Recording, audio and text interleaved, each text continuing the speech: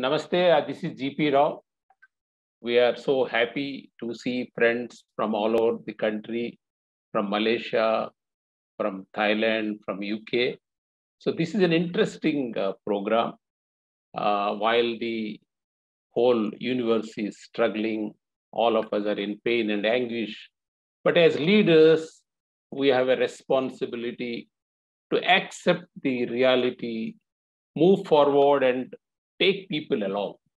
So we thought of a unique program where we'll try to integrate the insights and instincts from the science and spirituality. That's how we approached Sri Anish, a spiritual teacher, and Mr. Padmakar, a, an accomplished, outstanding professional, the chairman and managing director of BPCL, and a leadership uh, teacher, professor, Dr. Asha Bhandarker. So they will take us through a wonderful session today for building uh, resilience. So now I will have the pleasure of introducing our three facilitators or the resource persons. I'll start with uh, Sri Anish. Okay. Oh, you want to show the housekeeping guidelines? IT, please show, show, no problem. He wants everybody to mute their mic, uh, use the chat box. And uh, when you want to type a question, start with a capital Q, because sometimes you give a greeting, you participate in a chat show. Uh, when you ask a question, start with a capital Q. And he also says organizers can remove a participant who appear to be unsafe. I don't know what does it mean by appear. We'll leave it to the IT. Thank you so much. We'll come to the introductions. Okay. So let me have the pleasure of introducing uh, Sri Anish. He's an MBA, ex-corporate executive and entrepreneur, was part of high-tech and consulting industry. Some of you would know that he was a part of Brahman Solutions, he was part of Vidya, he was, he was one of the founding members of PeopleStrong. But then he decided uh, 15 years ago and moved to Malaysia.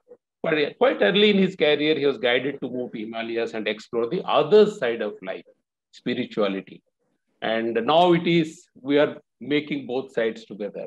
Over a decade of intense sadhana brought many realizations and transformations in his life. A simple yet profound being, Anish, is a spiritual teacher, mentor, and a guide to many. Not only in India, abroad. He has an office in London. He goes, teaches, talks to people in conversation with in many parts of the world. His vision is to spread light, the light of inner wisdom, to make this world more beautiful and more awakened. His work involves public talks, spiritual mentoring. He writes well, poetry, he's a poet, meditation retreats, works of seva and community. And he also leads Saadho Sangha. He's a community of like-minded people who want to spread this light. Okay. Thank you, Anish, for joining and agreeing to lead today's discussion. Thank you so much. We'll move on to the next speaker, that is Mr. Padmakar. Uh, he is a master's in PMIR. But prior to that, he was a science, uh, agriculture graduate. Now you can see that farming, farming.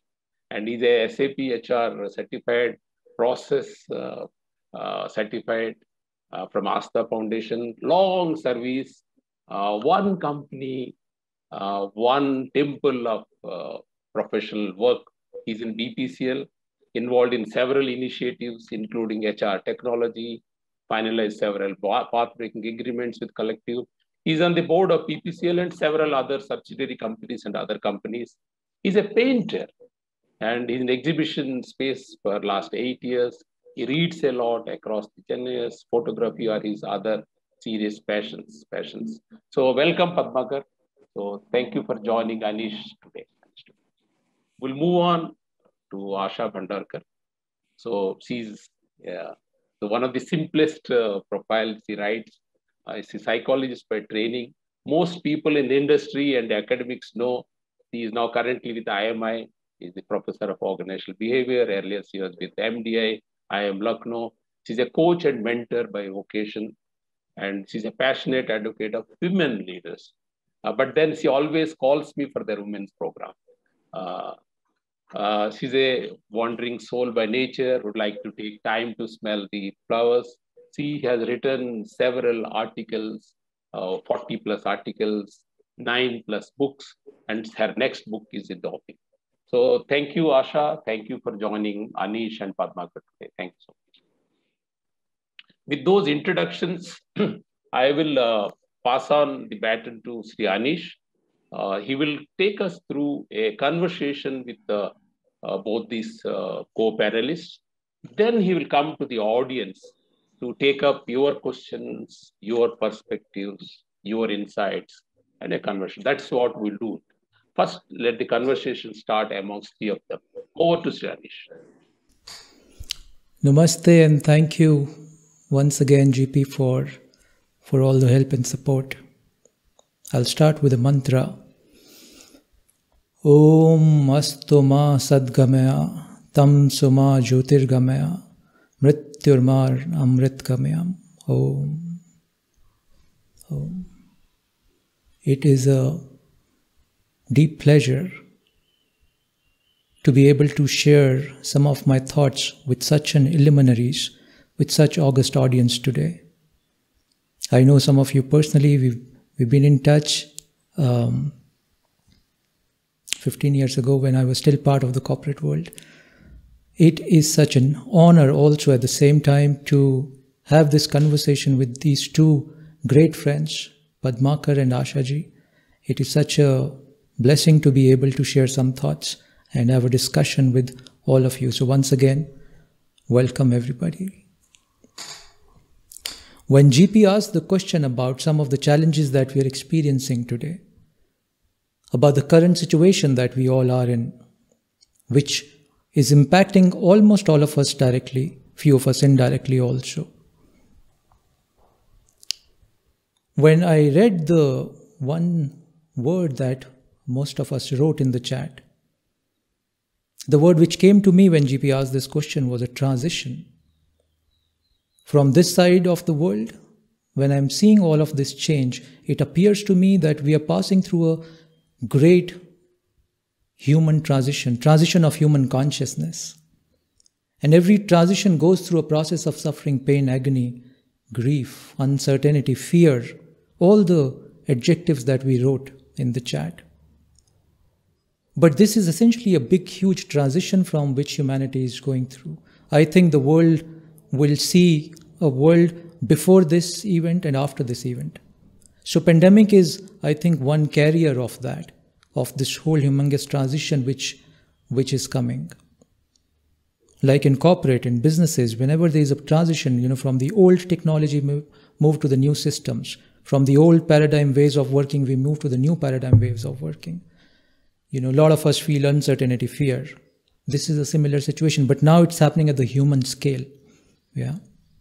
That's about the transition. But this is what the law of life is. This is what the law of nature is that any transition will go through a creative destruction. And I call it a creative destruction because here, unfortunately, even lives are getting destroyed. Families are also suffering. But it's still a creative destruction because this is a great push for human consciousness to move to the next level of awareness. And that is what we thought we'll talk about it. But whenever something like this happens around us, you know, it does something to our body mind. We are looking at the news, the media, the information that's coming to us. We are experiencing what is happening to our loved ones. It does something tra- tragic to our body mind. Our hormonal system gets disturbed, you know. Uh, the cortisol levels increases in the body. The mind get totally confused, fogged. The decision making gets impacted. Our stability gets impacted unless we start to build the real resilience. We're going to talk about that in, in today's talk. When GP and I were talking about this, we looked at the leadership. You know, in this situation, whenever something is happening, we're always looking at the leadership of the country to help support wade us through this. So hence the leadership at all level is extremely important right now. If the if the country or if a society needs to move to the next level of consciousness, awareness, stability, it's the job of the leaders. Because leaders can create ma- immense impact through their thoughts, through their words, through their actions. They also, in the business corporate world scenario, they have the responsibility of employees' health, their happiness, their long term well being. And just becoming outwardly positive in situations like these does not work.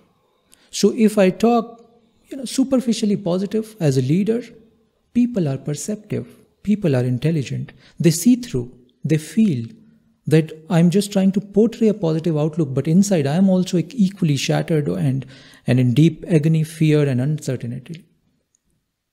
So that in such intense situation, that behavior doesn't really work. What works is when I go deep down in my own being and start to build the real resilience there. And leaders in such situations, because as I said, the mind gets fogged, body's immunity gets compromised because of the negativity, and we'll talk about it briefly. It becomes almost impossible to, you know, hold the grand vision, to see beyond, because we become very, you know, we're paranoid about the situation. And leaders need to have an expanded vision all through, no matter what's going on. And India as a civilization, we are a civilization which is rooted in the wisdom, not in the belief system. And when I say we are a civilization rooted in the wisdom, that is the reason for many centuries in the past, the whole world looked up to India for resilience. We showed the world what resilience is, and that is what is needed today once again to regain that back into our life. And that's when we thought about building this program. I'm reminded of a beautiful statement with a great scientist made, theoretical physicist Albert Einstein. I want to open this session today with that statement which Einstein made, and he said, No problem can be solved from the same level of consciousness that created it. Let me repeat. He says, No problem can be solved from the same level of consciousness that created it in the first place. With this statement, I invite my two dear friends, Padmakarji and Ashaji, to share their views on this statement and we'll lead it from there. Padmakar, would you like to share some of your thoughts on this statement? Sure, sure. Uh, Anish, on the face of it, I don't know where you got this uh, statement by Albert Einstein. On the face of it, it looks very, very simple. Mm. Uh, but actually, what he means is that there appear to be many, many levels of consciousness. Mm. So there are certain, at some level, some problem is getting created. So unless you are able to traverse through all these levels of consciousness and then look at it together, you will not know from where you need to really uh, bring out a solution or any method to handle it. It's, it's a very beautiful statement. Uh, it seems to be appear to be, on the other hand, it also gives me another meaning that there is something from the nature.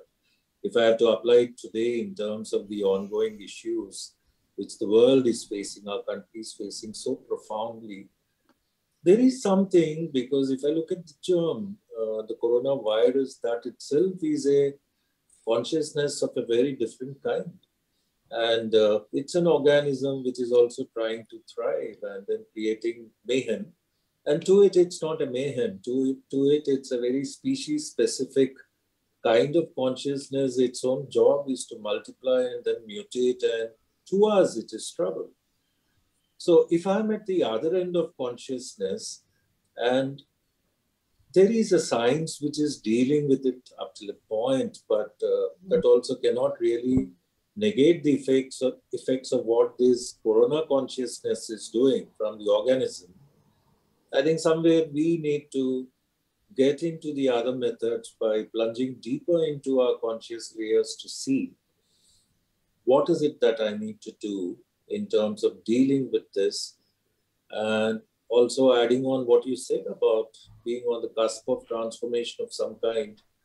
Uh, it, it seems that the the human being's inner ecology of certain kind has sent certain pulse waves to the outer ecology, which seems to be responding in certain ways. So, how is it we need to balance it out? I think the, the challenge to me from this statement, therefore, is manifold. And the key to it is in terms of not panicking, in terms of plunging deeper into ourselves to see where the solution lies and how is it I, I'm going to deal with. Yeah, beautifully expressed, Padmakarji, beautifully expressed. Asha, would you like to share some of your thoughts on this statement?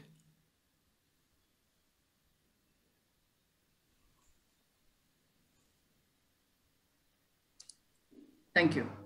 Um, nice quote, quite profound. And I liked what uh, uh, interpretation. Um, you know, it's so fantastic when uh, minds interact because now um, I'm coming out with another perspective on this. And each one of us comes from some space. So, um, levels of consciousness, I was trying to understand from the view of leadership and uh, one thing which comes to mind is that the corporate sector dominantly operates in the materialistic space. If that is the level of consciousness, not able to see, why? Atul Srivastava says not able to see people when they are speaking. Can the host please change the spotlight, whatever? May I continue? Yes, please. Yes. yes. So, um, the dichotomous uh, entities are materialistic versus the spiritualistic. And uh, the uh, materialistic part would be that uh, we are focused on the profits, we are focused on the tangible, we are focused on the result, and that's how we operate. That does not negate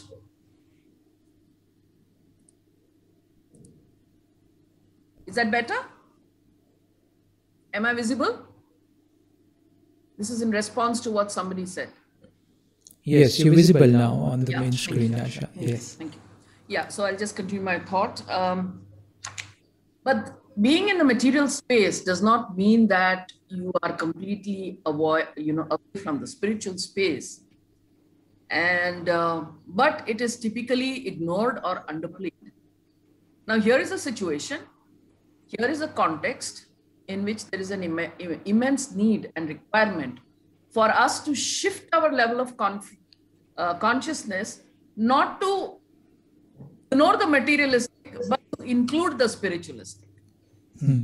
And uh, the importance of uh, including the spiritualistic comes from the fact of what is known as collective consciousness. At some level, this is what, uh, you know, um, everyone says that if I feel isolated, if I feel individual, if I feel unique, you know, and uh, if I look at myself as an entity separate from everybody else, the way I deal with the world is very different. But our, uh, um, you know, traditions, our uh, knowledge of uh, philosophy, and our collective heritage teaches us which science is now discovering that we are all connected. Where are we connected? We are all connected at the spiritual level. And therefore, it is that when somebody hurts, we also hurt. And that is why there is this situation where today we are all suffering, even though individually we may not suffer, but mm. collectively as a race, collectively as a people, collectively as societies, we are suffering. So I think those are my initial thoughts uh, in response to Einstein's statement uh, regarding, uh, you know, you can't uh, solve a problem from the level at which, level of consciousness at which it has started. Beautiful, Asha, beautiful. You've kind of opened a grand, you know, Pandora of, of we being all the same, the, the inherent uh, thread of connectedness, oneness yeah. Beautiful, Ashaji, beautiful. There's another way to quickly look into this statement, just in one line. You know, when he says that we can't solve the problem from the same level of consciousness, then it means that we need to upgrade our consciousness, take it to a higher level to be able to solve a problem which got created by the lower level of consciousness. So we need to all upgrade our consciousness. Now, Einstein is a scientist and he is using the word consciousness as not information. I think that's a very interesting point I felt here. He's saying that by access of information, you will not be able to solve the problem.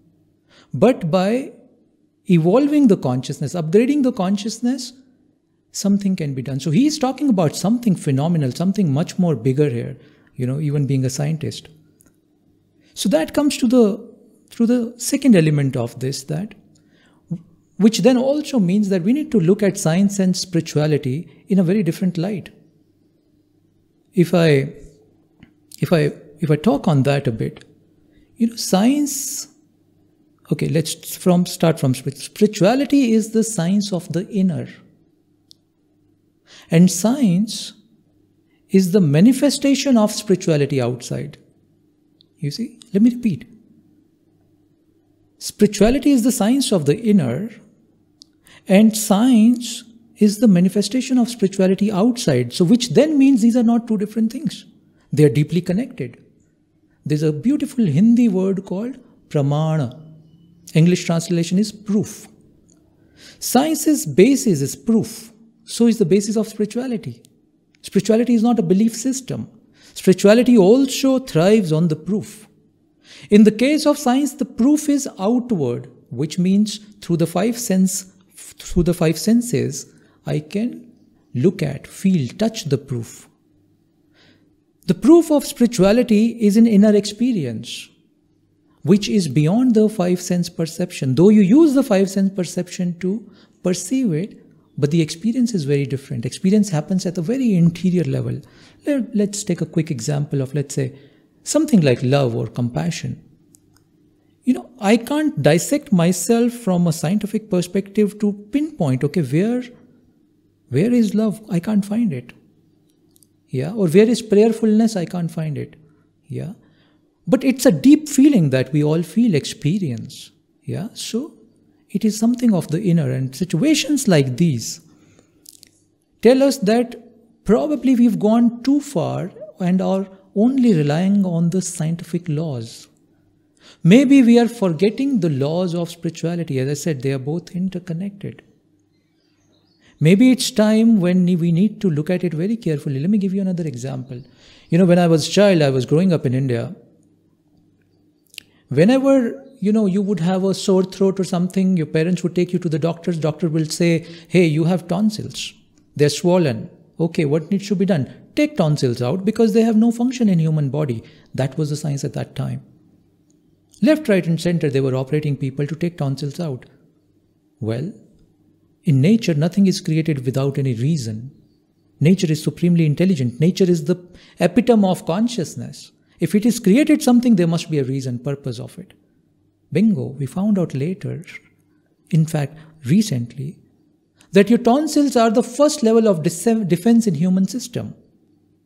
When I, when I eat something, when a virus or some or a bacteria goes in my mouth or through my nasal pathway, tonsils are the first level of defense. They attack the virus or a bacteria or an external infection there and then to stop it to get into the system. Something similar happened with appendix. The science at that time thought appendix is of no use, you have a pain, remove it. Well, again, nature does not create anything as a waste, as a unnecessity. If it is created something, there must be a reason. Let's look at it. Science started looking at that. And science said, oh, all the gut bacteria which are important for our, our well being, our digestion, appendix is a storehouse of that. It's a backup. So if somebody's got a bad stomach or has taken a bag uh, bug and the entire system is flushing it out uh, through diarrhea, our entire gut microbes, the gut good bacteria is washed out of the system. How does body build that again? Bingo! You go to the um, appendix, and those those good gut bacteria which are stored as a backup in the in the appendix, they start to come in the gut, start to multiply, human body becomes well again. Yeah. Science dissects everything to know the reality or try to know the reality. Spirituality encompasses everything to know the nature of reality. Both are trying to know the or find out the nature of reality paths are very different. One's path is dissect, dissect, dissect, divide, divide, divide, cut, cut, cut. The other's path is unite. As Ashaji said, uh, that it's about oneness, it's about connectivity, it's about it's about this thread.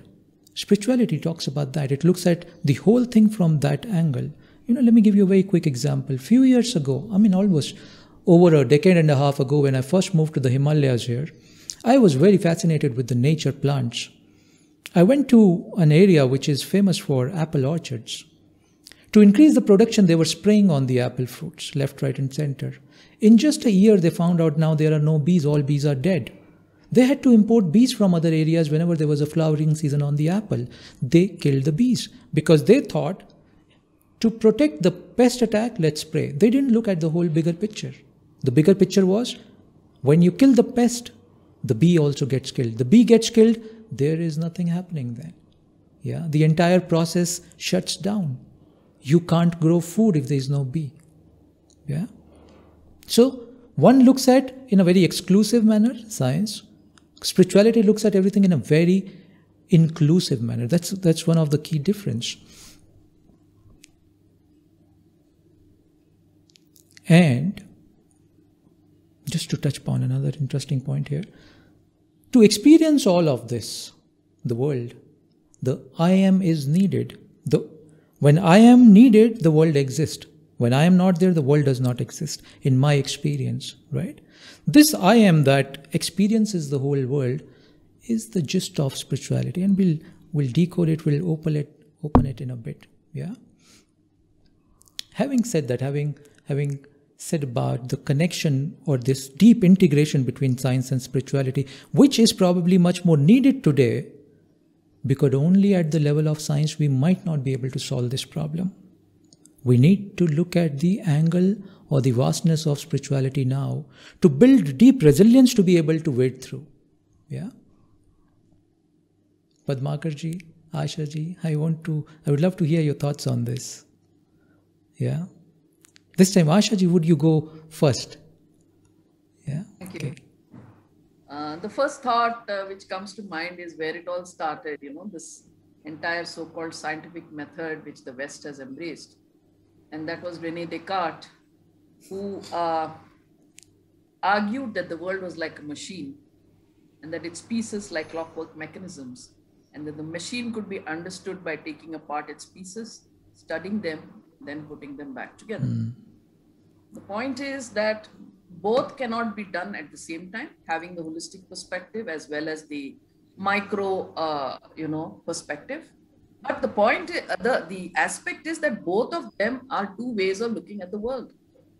Science has taken one path and it has helped in one way. In many domains of knowledge, for example, science has helped.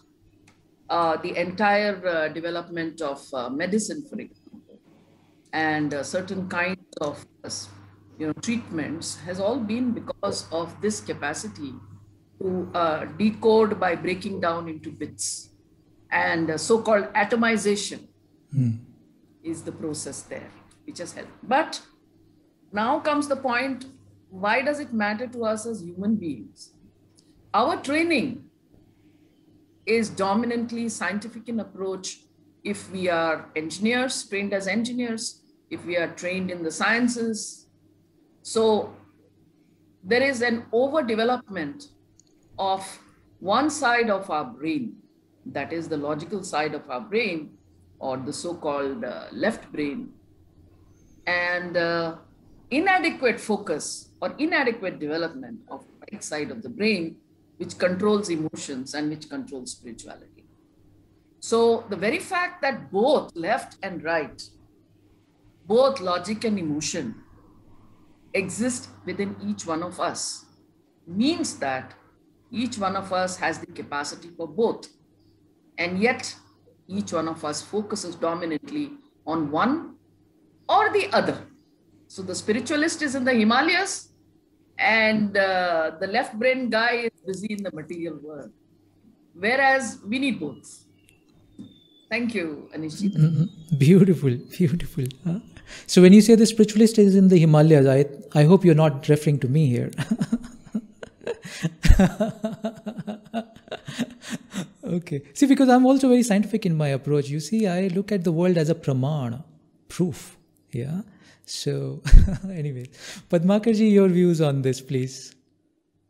Uh, actually, if you look at ourselves, I mean, the way we are in our country, I, I think uh, somewhere over a period of time, it was considered as not passe that uh, you need to believe in spirituality, and then which is generally coded into a lot of religious practices. So at a point in time, everyone felt that they were not making any sense without looking at the deeper meaning uh, because everything cannot be explained for everyone and some of these tend to be very mysterious and not meant to be given to those who don't understand. So these are codified into some religious practices and then put there, uh, to which probably even today in the villages, etc., it goes on. Now, but I think it is the more educated, if I can call it, uh, the more educated you are, the more complicated you seem to become and more truncated. Uh, because even in my company or many other places, when I've dealt with the labor employees who are least educated, I find that they have no problem in encompassing everything. They are able to move from spiritual to materialistic to rational to traditional and sentimental, many things they are able to encompass, and they're at peace and they're confident. Uh, but I think the higher we got educated, so called Western education, which has taken us, you seem to be looking the way the science is dissected or cut into several pieces. Our education system has also done it to us. If I've studied physics, it doesn't seem to have any connection with chemistry It, you know, it took me much, much longer time as an adult for me to understand all these are integrated. These are integral sciences of life, of nature, which for us to understand, they have unified the, or not unified, they have broken it up into simple, understandable pieces. I think that is where the problem of the scientific approach lies. We are looking at things unitarily without looking at things together and beyond that, there is a sigma effect. And what we are able to understand is the outside in through all your sensory mechanisms, but you're not able to figure out what is inside out, or what is it I need to do. Once again, in terms of restoring the balance part of. I think this is where the whole dichotomy lies, even in terms of the way we run organizations today or institutions today. We need to take things out of people for what I'm giving you in terms of pecuniary resources and so on. But some way the softer elements, like the way Ashaji has explained, that I tend to be left brained and then it is a weakness for me to speak about the other sides of me, the softer sides of me. So therefore, I tend to deal with you in a certain way, uh, which is also the sociological coding of what masculine is all about, which is strong. I am a Hercules. I'm an Atlas. I'm carrying the whole weight of the world, and I'm brave, and I can do it. But somewhere, imbalance creeps in because the moment you're not, because ultimately we are like we have to oscillate among three things uh, the axis of thought, feeling, and action continuously. Every thought of mine has to be checked with my feeling, and then every feeling has to be cross checked. Am I being unnecessarily mushy? All right, what is it I do next?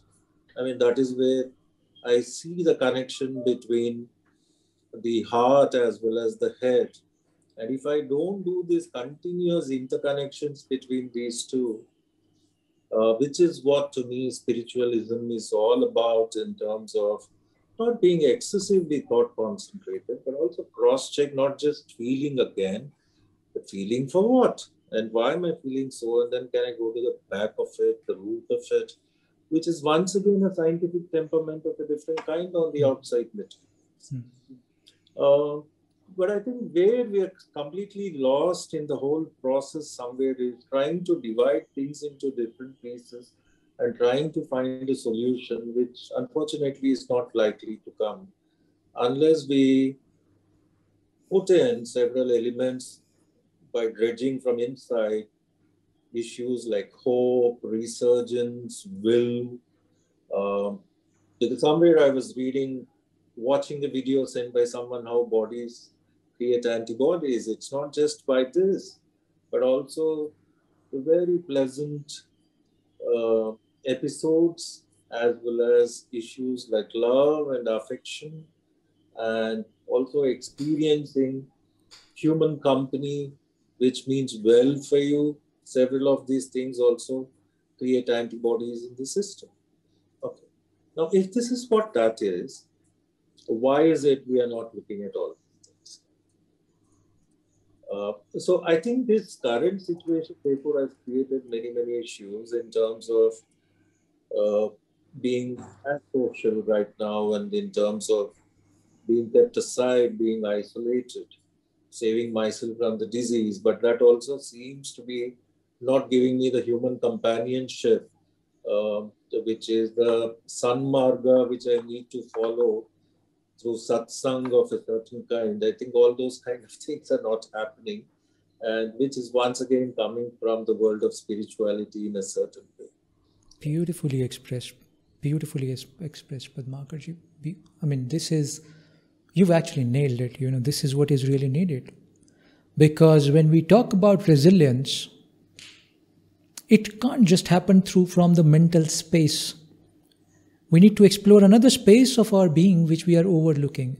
And this current situation, pandemic, you know, apart from all the all the suffering it has brought on us as collective humanity, it is also waking us up. I mean, that's the reason we are having this. To me, it's a very important dialogue. It, it has woken us up to now take this dialogue in the middle of the corporate, in the middle of the business world, and see that, you know, business is also not separate from life. Business is an ansha, a part of life. And the rules which are which are good for life are the rules which must be good for the business also. It's like the the business world is a subset of life. We can't have two separate set of rules here. And I think that's where we've been kind of going wrong and maybe this situation is trying to wake us up. That's the reason I look at it as a as a time of great transition. Yeah. Let's look at virus. You know, the science is saying the virus is extremely resilient, it's mutating and, and the rest of it. We are, of course, much uh, much bigger than a than a virus, not just in terms of size, but the consciousness in the virus is little less than the consciousness in a human being. That's the reason we've put human being as the top of the manifested world. Yeah, the, the top of the life that it could achieve. Now, if the virus is too resilient or becoming too resilient, I think we also need to become too resilient. Virus is trying to become resilient only at the level of body, physicality, biology.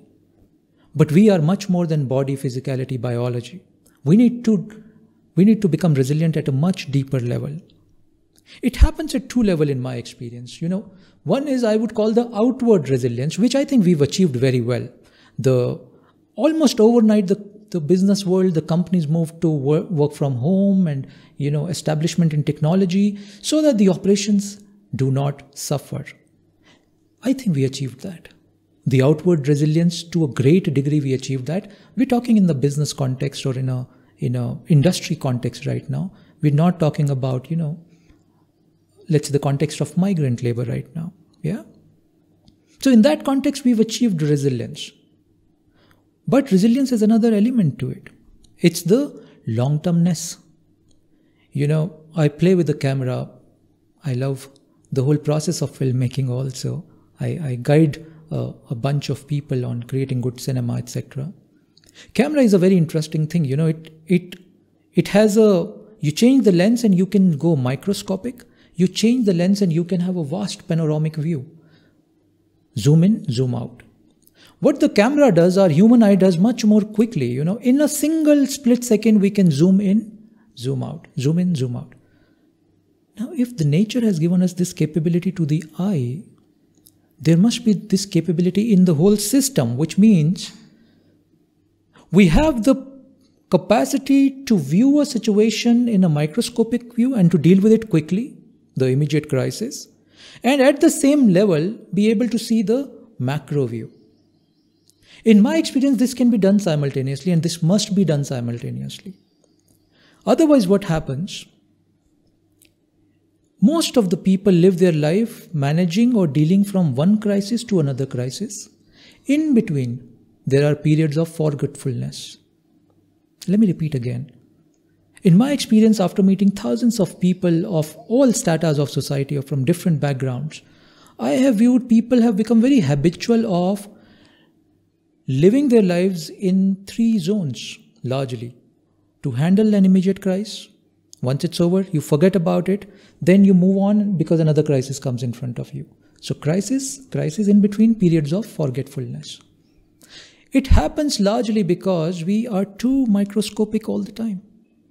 And it strains our system. When you're too microscopic, it strains the system. We need to develop the capacity to also have the macro view at the same time. Yeah. And for a leader, it is absolutely must to be able to marry the both. And I'm saying at the same time. While I'm dealing with the micro, I am absolutely aware of the macro. Yeah. Now, now if that's if that's what it is, then we need to look at resilience from a different angle then. Padmakarji said a very beautiful thing about mind and heart. Friends, these are the two layers of human existence largely, although there are more layers, but just to simplify it. We operate our life from these two spheres the sphere of head, the sphere of heart. Largely, I'm saying. If I ask a question, when do most of us feel most energized, most resilient, most stronger, most rooted? When do we feel that? The answer is because I've posed this question to a lot of friends already. the answer is whenever I'm surrounded by my loved ones, whenever I know there are people who are taking care of me, or who are not taking care of me, let's say who stand by me. The dearest of my friends, the beloveds of my family, the extended uh, social system, which is always supporting me. Whenever I'm in that feeling space, that knowing space, I feel very deeply rooted and resilient. It's a space of inclusiveness. But whenever I'm in a space of individual, I'm alone, I will do my own thing. I can lead my own life the way I want, and so on and so forth. It's a very individualistic attitude. This cuts me from this support system. This is the way of the mind, the way of the ego, which, as science, cuts things down to pieces. Because we're largely operating in the, in the, from the space of mental intellectual zone, we are missing the deeper strength of establishment, the soil of our heart, where the deep roots of resilience must take, take shape. Huh? So, if I say, what is the heart, what is the seat of inclusiveness in a human being? The seat of inclusiveness in a human being is the heart space, which is a space of love, compassion, uh, you know, agreement, and taking everybody together, and so on. What is the seed of disconnection in the in the human system? Is the mind. It creates a illusion or an ego to say, You are not me, I am not you. And every time I have to only be focused on my own self interest. Bingo, the problem starts. Look at our, our whole training. You know, since the time we were we were in school to college to competitive exams and so on and so forth, we've just been training the this center of human existence, the mind. Have we done anything to train the heart? Have we done anything? Have we gone to any, have we created any programs to, to train me on compassion? To train me about, about, you know, feeling this oneness. That is what we're calling spirituality. Yeah. That is kind of, I think, we've missed that. As the humanity, as the culture, as the industrial revolution happened, we evolved materialistically. We forgot completely about the heart space. I have some interesting data to share with you on this. But let me first hear what Padmakarji and Ashaji has to say on this. Then I'll share some very interesting data on this, on this mind and heart coherence system. Yeah. Please, Asha, would you would you just your comments, just your comments about have we really focused too much on the on the on building the mind space rather than the heart space and why we've not focused on the heart training I think I made this point a little earlier, but I should do that it's our education system which dominantly overdoing this whole left brain business, which is why um, we are pretty stunted on the emotional part. And that is where, uh, just as you train your uh, mind, you also need to train your uh, heart system. Just as you need uh, train your thoughts, yeah, that's the way you also need to train your emotions. And one domain of work which has come up in the last 20 years is emotional intelligence, where it is talking about trying to integrate the emotional with the thought part of it, except that um, it does not touch upon the spirituality, which at the center of uh, being uh, emotionally intelligent. And maybe that is where we need to do more work. Thank you. Excellent. Absolutely, absolutely, Asha. Padmakarji, would you want to share some of your thoughts on this? Yeah, I think uh, when I was thinking through, I was sure that uh, we are not letting go of the heart center in any which way, but we seem to be using it only from a uh, I point of view in terms of an egocentricity point of view, uh, which is about instant gratification for self. Uh, and so, therefore, there is a, as science is advanced, it seems to have put forward many materialistic comforts and some things which are desirable. Uh, so, therefore, we have never been happy, and then we have been adding on one gizmo after the other, which seems to be making us happy in a certain way. But at an I point of view, at an egotistic point of view, and not at the inclusive level of others. And, and I think the second thing which has happened to us socially is uh, as we are aping the Western culture in terms of their own individuality, um, whereas as a Asian country, we always believed in community living and everything was community based, joint family systems. As we moved away and adopted more of the our our wrong understanding of the Western psyche or thing is that I need to be individualistic. Everything is about me, and there is no space for others. Mm. So the heart center seems to be full, fully filled with the I part of me and with instant gratifications. Somewhere we have ex- excluded the spaces for many others whom I can certainly include. And I think it is wrong for me to love the general humanity. Not many seem to be doing that. Um, so it seems to be this is a culture which is prevalent and then which is also encouraged and nurtured. And even in the workspaces too, it is all about the rat race. And therefore, if I share something with my co-workers, will I be beaten down and will this other person get the coveted progression, whatever it is, or a bonus? So we seem to be creating all these things all the time. So while I understand uh, that the deeply worked for and earned things could belong to me, the power of sharing, the power of uh, love, the power of affection, a whole lot of these seem to be reserved for the self space, not so much for many others. And probably I make space. If I'm married, yeah, maybe I'll make space for my wife and children to that point. Mm. But doesn't seem to include many others too. I think this also is where a problem lies in terms of, you know, shutting the doors for many other opportunities coming your way where love is willing to come inside and you're shutting the doors. And you also shut the door in terms of not taking many of the offerings you can give to others. But this is how I read it. Mm, amazing. Thank you. Thank you, Padmakarji. Thank you. Okay.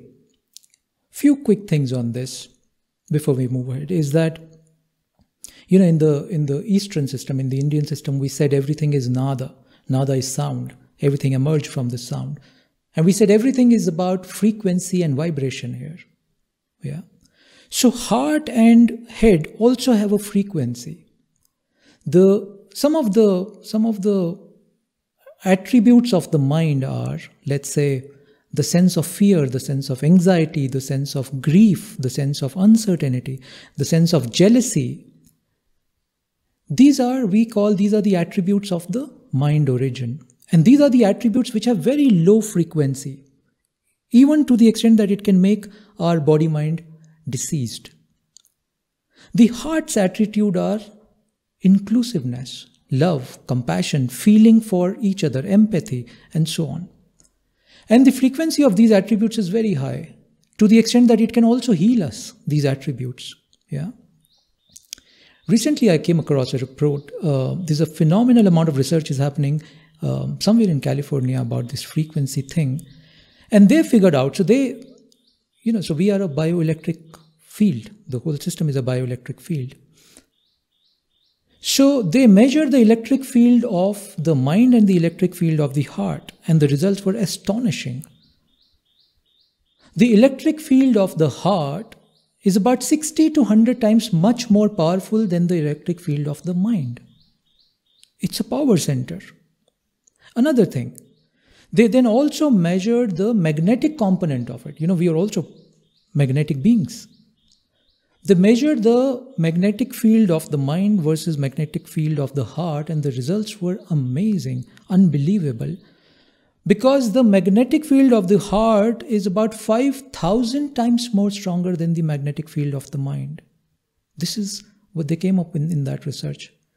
Which surely means we have an extremely powerful center of our existence, which we are probably either missing, or as Padmakarji said, that we're only using in the I context and I context is the mental context, right? So there's something to really investigate, think about it.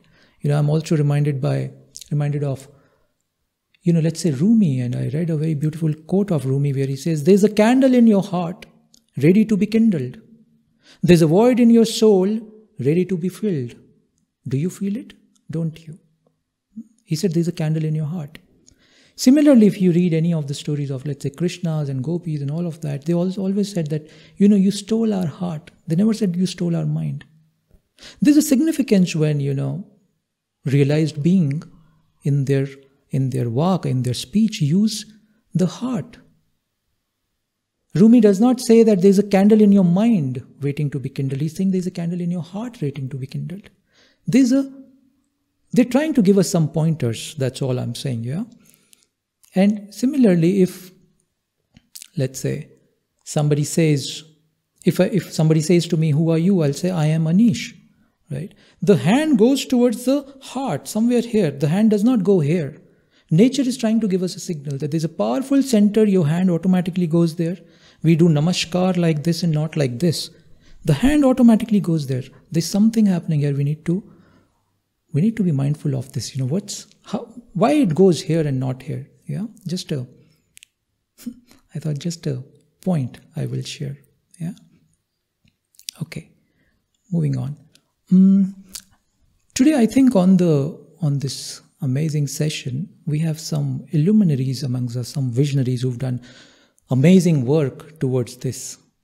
I would I would like to just invite any input, any comment from I, I think uh, Dwarkanathji is on the session. If you want to if you, you want to make any comment, any, any, you want to share your thought with us. yeah. Yes. Would you like to speak something on this, Dwarkanathji?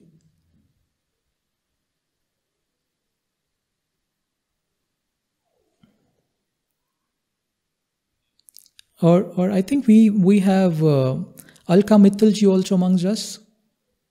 Yeah.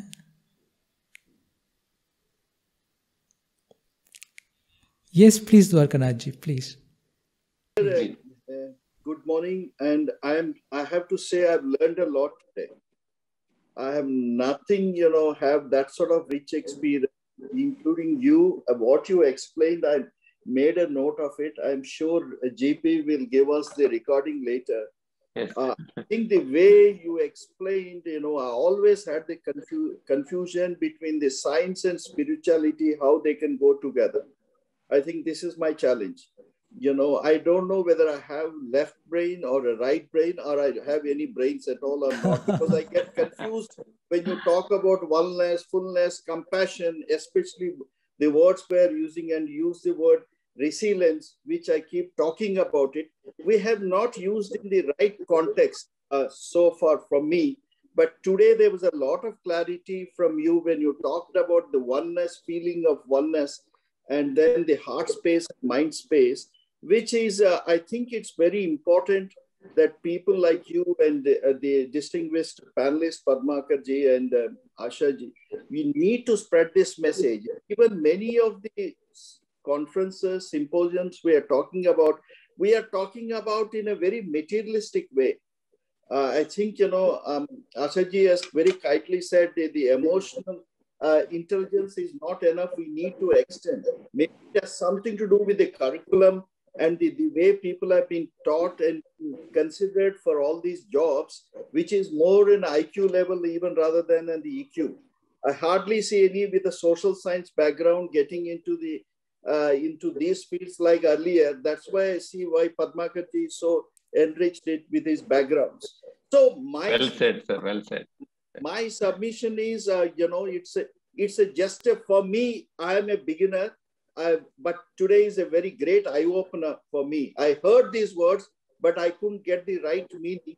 This has been very simply elicited by, by you and very well uh, explained by others. So I'm very grateful. I just want to end up saying the the the the instance where you gave where how a tonsils uh, can be uh, helped maybe this is something which we need to educate the uh, clinical and medical practitioners also don't really because just get rid of it it has got its own value so this is my submission i'm very grateful to gp for organizing this along with with the foundation. Thank and you. it's Thank a great eye opener for me. I have richly you. benefited. Thank you, sir. Thank you. Thank, Thank you, you Dwarkanathji. Thank you.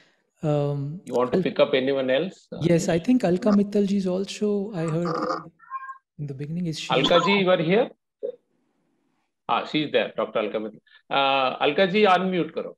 Uh, unmute kar. Yeah. yeah. Uh, thank you. Uh, I, I actually, as I said in the beginning, I would like to listen more.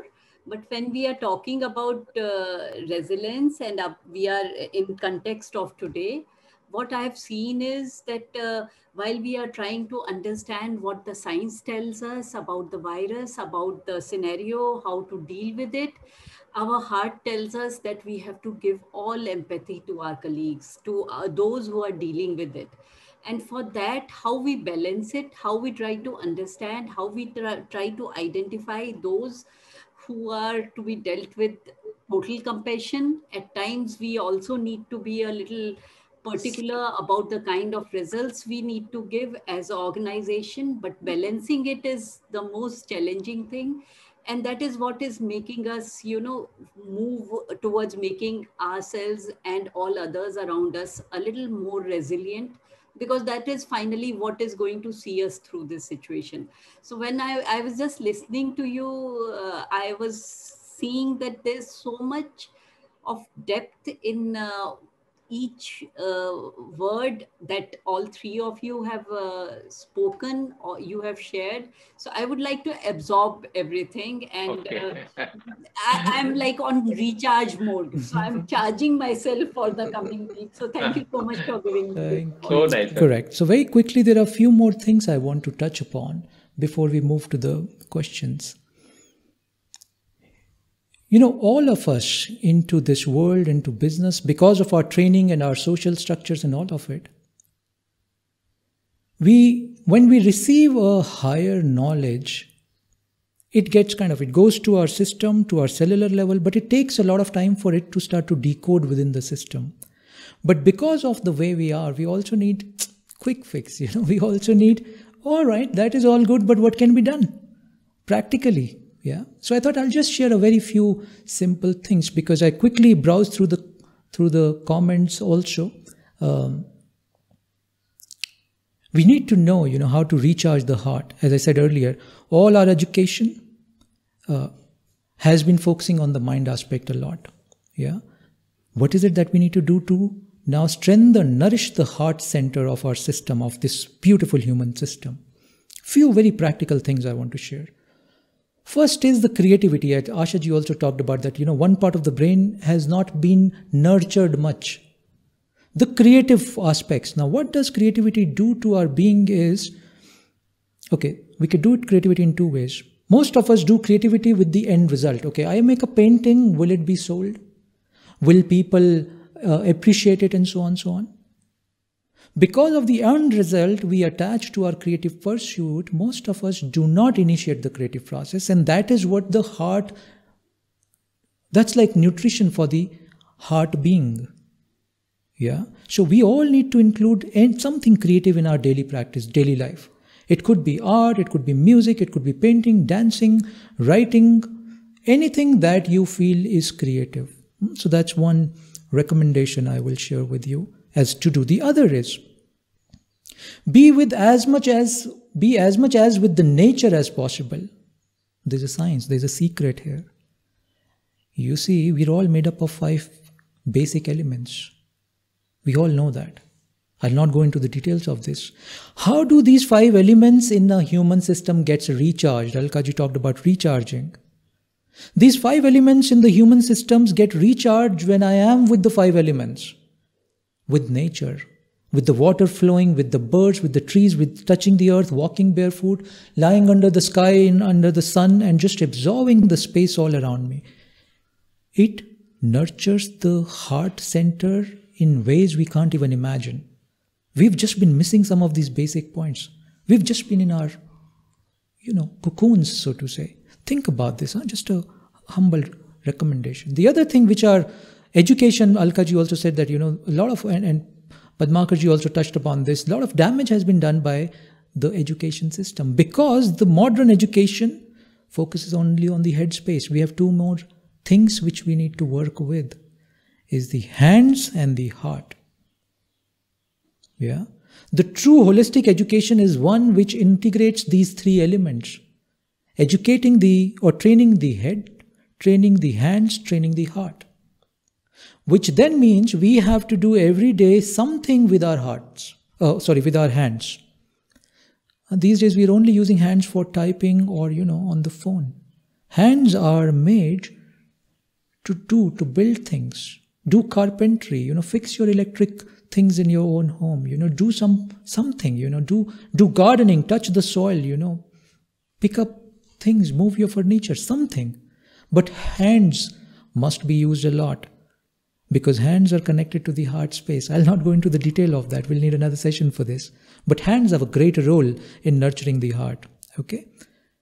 The, the fourth thing is we must start to do things that we really enjoy, and we have to take time out for that. We all have things that we really enjoy, but because those things unfortunately do not have any, any let's say, material value or an outcome value, we kind of, in our to do list, that comes at the end. I love to listen to ghazals, but during my day when I create my to do list, that is at the end. If I get the time, I will do that. Sorry, don't do that. Bring it on the top because that will declutter the mind to be able to bring a certain focus into your day and open the heart more. And last on this, unfortunately, we as a species, we've become human doing instead of human beings. We are in the mode of doing all the time. During the day, we do not give ourselves even 20 minutes to be human beings, where you are just a being in a silent space, you're just being by your own self. You give yourself that time and space to just be by your own self. At that time, you're not doing anything. And that is the magical space which starts to really open the heart and recharge you from, from physical to mental to emotional to psychological to spiritual. All layers of our existence starts to get recharged. In the spiritual context, we call it meditation. But most of us, for us, meditation is also becomes doing. That we start to do meditation. It takes the shape of doing. Think about this recommendation.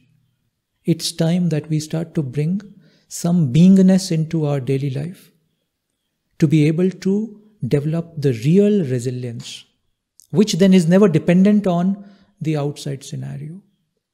Yeah. There is an advanced practice also, but for the lack of time, we'll not go into that. On these, these five points that I just shared, which we can bring into our daily life to enrich our heart center, our beingness more, to build the real resilience. I would like to invite any comments, any thoughts by Padmakarji or Ashaji on this? Padmakarji, would you like to say something on this? Since you're an artist, I know you paint and photograph. um, no, but I think I, I fully support this because uh, as a painter, many a time, you know, because having been trained in the way you are, uh, for a long time, uh, at a point in time, I got stuck with this concept, which is thought based, that I'm a painter, I'm an artist. And so at that point in time, when I, I, I just couldn't flow in terms of my painting because then comes the other issue of measurement and calibration. Will others appreciate it? Uh, you know, will it be acceptable in its own place and so on? And nothing worked. Then I had to, I thought it was a mental block, it was an artistic block like writer's block, but then I understood that this is not what it is.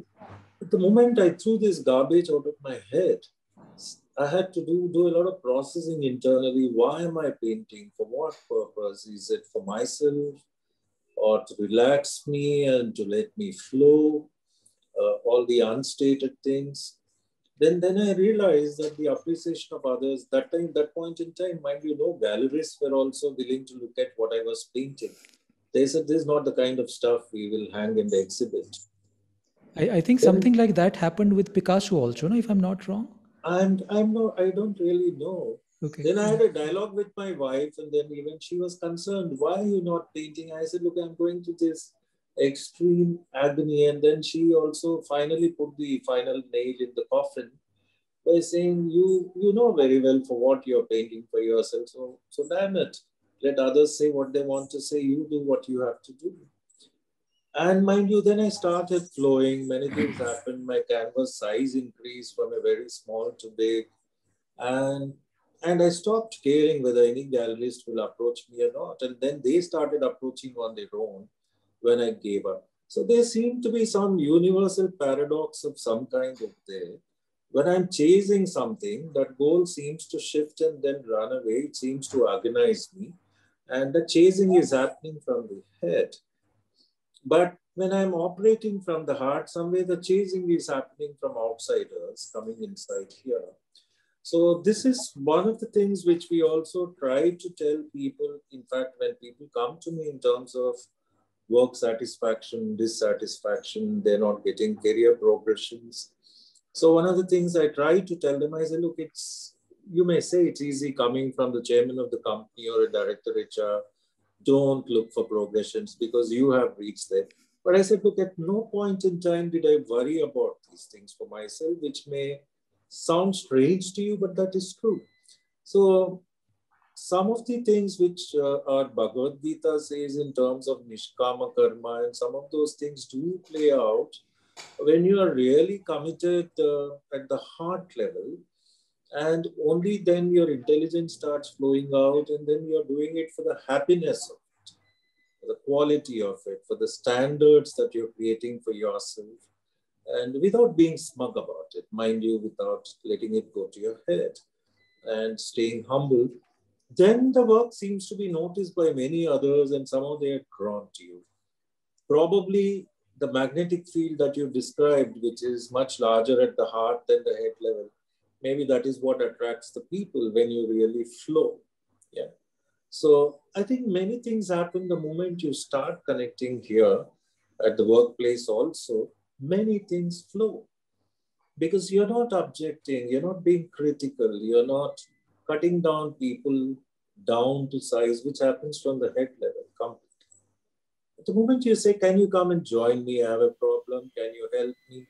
those kind of things, then everyone seems to join and things seem to happen so beautifully.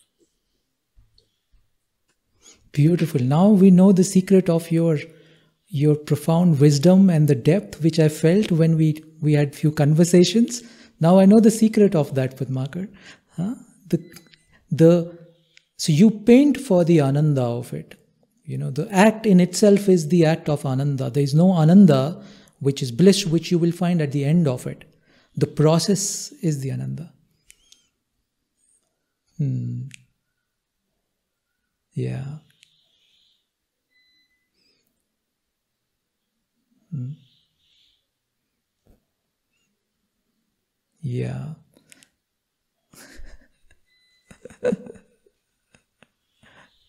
yeah, beautiful, beautiful. So, just a quick one on this, Padmakarji. People like you are called enlightened beings, by the way. Okay, I just thought I should make that point. Alkaji, would you like to? No, sorry, uh, Ashaji, would you like to uh, share some thought on this? Um, I want to say the mind divides, the heart unites. Yeah. The mind atomizes, the heart is holistic. The mind criticizes, the heart accepts. And uh, Socrates made a great statement that many thousand years ago, still relevant for us today be kind because everyone is fighting a battle. So, what is it that you know an organization should do was something which has always been bothering me regarding uh, uh, you know creating uh, resilience. I think organizations pretend that there are no emo- emotions in Mm. and organizations should acknowledge that in this time people are feeling insecure. People are feeling vulnerable. People are, are experiencing trauma. Can we acknowledge that? Can we provide safe spaces for people to express it? And can we also as organizations in our own ways give support to people listening is a great support and whatever little help we can do is a great support.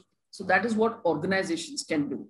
And i believe that today it is the time for businesses to think more on sustainability rather than pushing only on competitiveness. Because we have to first of all sustain. And if we push people too much we are going to break them. And we are going to lose them in terms of their engagement with the organization. And uh, at the individual level, I would like to say, just be. And when we say just be, it means you don't have to do anything, just let it be there. And then you have the flow of consciousness, which is there within you, but which is never getting a chance to explore, uh, come to the surface because the mind is continuously chattering non-stop. So another way of looking at meditation is just silencing this mind. There may be a religious connotation to it, there may be a spiritual connotation to it, whatever it is that works for you, but try to get into a zone where you can still your mind.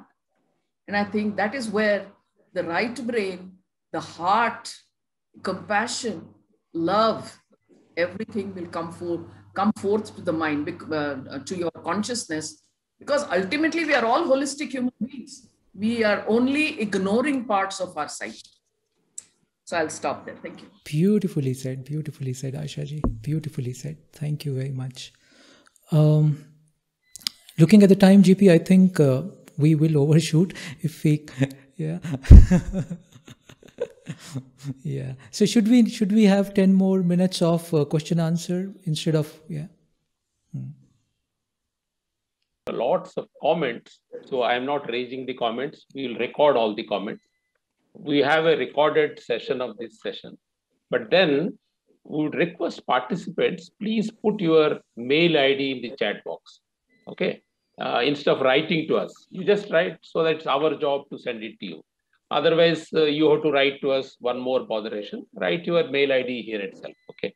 With that, I will take one or two interesting questions. Uh, uh, this is a question from Paramjit. Uh, he says both the emotion and logic is experienced by brain or mind, as we say. How do you experience both beyond this mind? What do we do to reach that? He says, how do we go beyond the mind? Hmm. So, so if you see, Paramji, that uh, in the last leg of the dialogue earlier, I kind of touched upon this. That, so okay, look at it from two dimensions. There are certain attributes we associate with the mind, the attributes of fear, anxiety, pain, grief, jealousy, which we experience a lot, and so on. So these are the attributes of the mind. And then we said the attributes of heart are love, compassion, openness, embracing every everybody. Yeah. Having said that, now the how do we go beyond the only mental space is the five sutras that I shared. If I start to implement those five sutras in my everyday life, Paramji, suddenly you will start to see that the consciousness has started emerging in such a way that now the mind starts to come to your control. Now it's you who starts to control the mind with the power of the heart. Let me, re- let me repeat this, this is important. Then it will be you who will start to control the mind with the power of heart. And a great leap of jump starts to happen from the beyond the mind space. And reality starts to open up. Reality starts to feel in ways which we've never imagined. Yeah. So I would suggest practice this. Just do these five things and see what the results are in next three to four months. Yeah. And then see the real deep resilience in it. Uh, from Dr. Pushpa Sethi, uh, she's from Gurgaon. She says scientific education makes us practical, materialistic, and evidence based in our approach. How to handle various situations. So, how does one integrate spirituality with this? So, they appear to be antagonistic. yeah. So, as I said uh, earlier in the conversation, that so far, unfortunately, our belief system has been, or our thought has been, that science is proof based. In the Hindi, the word is very beautiful, pramana based. We thought spirituality is belief based. So they tell you there is a God sitting up there, you believe in that. Huh? Don't ask for any proof. It doesn't work like that. We are all educated people. The real spirituality is also pramana based, proof based. But the point is, you will not be able to see the proof outside, but you will be able to feel the proof out inside. Number one. Number two, you will start to see your the proofs will start to come as as as as as feedback from people around you our relationship starts to become very beautiful evolved your stability you will start to feel in the middle of all the storms there's something which is always stable in you these are the proofs which you will know within you will not have to believe believe in any scripture or any dogma you yourself will experience these proofs so, in that sense, I would say science and spirituality are not two separate things. Both are based on pramana. In fact, in our in our traditional Advaita Vedanta, the whole thing is based on pramana. If you can't pramanita, if you can't feel the proof of it, know the proof of it, there is no spirituality happening. Then it's intellectualization which is happening. So let's say if I say, I'm a very stable being. I have deep resilience. I have love and compassion for the whole humanity. I'm saying this.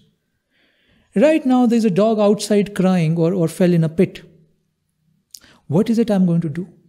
Or right now, I'm seeing there's a mass scale suffering all around me. What am I going to do? Am I only going to be fearful about the virus and protect my immediate family of three, four people? Or through whatever means I have, I'm going to extend a hand and show. See, these are the pramana, these are the proof that love, compassion, and oneness is just not an intellectual thought that you have. It has gone deep down in your system and you experience it. And you operate from that experience. So the center of your operation shifts from the mental intellect to the soil of your heart, which is based on deep love and compassion and oneness. This is the pramana. This is the proof. Uh, next one, uh, I'll also get Padmakar into it. It's an interesting comment by a very, very senior uh, professional in the audience, Mr. Nagras. He says what we're discussing here, like integrating spirituality and science, resilience, how do you make the majority who live in the villages, rural population, how do they understand integrating spirituality, science, what is resilience? Uh, some some clarification. Okay, very quickly on that. Four years ago, after emerging from deep sadhana of over a decade, when there was a message to now open up and speak and be with the world, a friend asked, just like that, a friend asked, What is, can you explain in one word what you feel now? What difference has made? What has happened in 10 years of sadhana? Can you just give me in one sentence? Without even thinking, the sentence or the word which came from my mouth is Jagat Kalyanam yeah jagat kalyan which is This life is now dedicated for the good of the whole world, of this universe, of this cosmos. It can have multiple expressions and manifestation, right? Depending on your own, uh, how, how do I say, your own inner strength, your own inner capability right? So somebody could become a teacher somebody could become a writer somebody would just become a worker on the ground and he will go from village to village teaching this. But the whole thing starts how does the fire forest fire starts? The forest fire starts from one chingari one spark in my own experience the moment this spark happens in you as an individual the spark becomes a raging fire and the fire then finds its own expression. You don't even have to choose the expression. The path starts to unfold itself. This is in my experience. I don't know if i have answered it or no. Next one is from pradnya uh, attention follows intention. So where does intention arise it from spirit or soul or a deeper consciousness? Pradnya, lovely to hear this from you after many, many years, Pradnya. Okay. I talked about that our existence is two layers, largely, although there are more, but for the simplicity's sake, is the mind space and the heart space. Mind space is largely the space of fear, heart is largely the space of inclusiveness, right? Whichever space, Pradnya, is more activated in you, in your daily life activities, when you're dealing with your house self, when you're dealing with your family, when you're dealing with your friends, when you're dealing with your employees, when you're dealing with your chauffeur, all of it. In each of these small experiences, if you see yourself operating more from the heart space rather than the head space, then all the intentions will come from the same root. See, we are not two beings, we are not two different people. The moment this shift starts to happen from this space to this space, the intention will start to come from here. That's the example I quote. When I experienced that immense shift in me, the first word that I uttered was Jagat Kalyanam, good for the whole universe. Right? Where is this intention coming from? It can't come from the mind space because mind only thinks for I, me, and myself. Yeah, I hope I've answered that, Pradnya. Last but one, Naveen Kumar. He says, I had different levels of consciousness and collective consciousness. What is the difference? What does it really mean? Okay. Different. Okay. Naveen, it is a vast subject to be able to be able to answer in one minute. yeah. Our sages spent, you know, lives and lives, you know, decoding this. But just to quickly point on that, we do not have many layers of consciousness. We largely have a consciousness dwelling in you, which you can find out if you're operating from the more mind space. Your consciousness is bit vibrating at a lower frequency. The moment the Jagat Kalyana field starts to enter into your system, because that's how nature operates, that is not your individual intention anymore, it becomes part of the collective intention, is that your consciousness is shifted, the vibration of your consciousness becoming higher. Naveen, when that starts to happen, there's a, there's a seamless connect that you start to have with the collective consciousness, which means you actually start to feel the joy of the world around you and the pain of the world around you. Because that collective starts to speak to the individual. It is much more mystical and uh, occultish than this, but I will not speak more than this on on this forum. yes, please, Asha. Yes, please. Because collective consciousness was the term which I used, and I want in which context I used the term.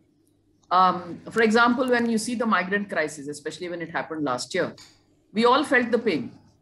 Why did we feel the pain? We are all connected. Mm. That connection, that is that intangible spiritual uh, consciousness connection. Okay. When, as a community, as a society, we suffer something, that's an evidence of uh, collective consciousness, or as uh, Anishji mentioned, it is your internal praman. You get the proof that you're all internally connected, right? So that okay. is consciousness. And one more point individual level co- consciousness, we operate. I mean, if you reflect on yourself throughout the day, early morning you may start with great, uh, you know, highest level of uh, operation of your consciousness. And, uh, you know, you say all the good things, you have all the great intentions and all that then you get into the hurly burly of the day. You're operating at a different level of consciousness. And then in the evening when you're relaxing you're operating at a different level of consciousness. So it's a very simple indicator of how consciousness varies okay. in the whole day. Understood. Beautiful wonderful. Beautiful, uh, padmakar padmakar there is a question from yashwant one of Yes. our young dynamic uh, guy from GAIL. During this deadly wave of pandemic, how can leaders build organizational resilience despite the challenges? Uh, any thoughts? I think one of the uh, see, if I have to look at resilience as a subject, uh, it is generally the contra to that is victimhood. So resilience has a lot of hope in it, and anything which is resilient, which is to bounce back, means that there has to be a lot of meaning that this too will happen, but at the same time, you cannot ignore it, but at the same time, you need to really strengthen yourself in different ways, which may be emotionally, physically, many other things. So, this is what organizations need to do. That look, these things are happening, there is a massive disturbance of some kind.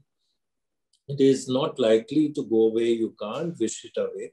So, take all due care for yourself and all your loved ones, and so that but at the same time work also has to go on because you're it's a world of uh, becoming also because you you are performing so and so role you need your livelihood many other things. So but at the same time the main thing is in terms of making them get rooted giving them all the emotional support uh, giving them a lot of hope in the midst of many of these disasters that they see and probably some bit of trauma counseling because everyone is losing multiple number of uh, those who are people who are very very dear to them. So it's a whole host of activities which comes through a lot of caring a lot of empathy not sympathy but a lot of empathy has to be uh, practically shown over there and giving them handholding in terms of passing through this crisis. But at the same time giving them the responsibility to manage it also by themselves. Because suddenly we can't become an agony aunt and take over every problem of this. But we need to say that, look, we are there for you. But at the same time, you also need to grow through this and come out stronger, mature. That is what to me is resilience. Thank you. Thank you. Anish, uh, last question from Jyoti. Please explain more about heart and mind functionality. GPC, you are asking such uh, expanded questions, uh, and then after the session, then after the session, you will say that you know I overshot. okay, Jyoti, um, you know, okay, I might not be able to go into the absolute depths of it, but just to touch upon this, when we see the functionality of the mind and the heart, mostly we understand it from a biological perspective that the mind actually in the biology term there is nothing called mind. There's only brain and then brain has specific function and neurons and a whole lot of things. If you ask a biologist what is mind and where is mind he or she will not be probably be able to answer because mind is not a physical organ. Brain is a physical organ. Similarly heart is a physical organ one side of your chest the medical the biological the organal heart.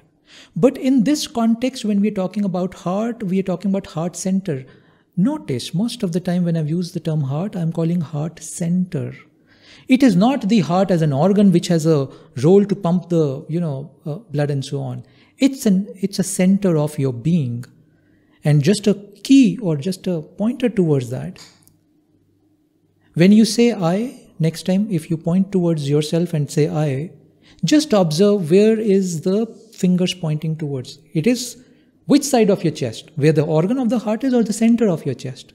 So the spiritual heart center is in the center of your chest where the rib cage meets. That's the center. And that is the center of real resilience. Yeah, I'm afraid I can't go beyond this in this.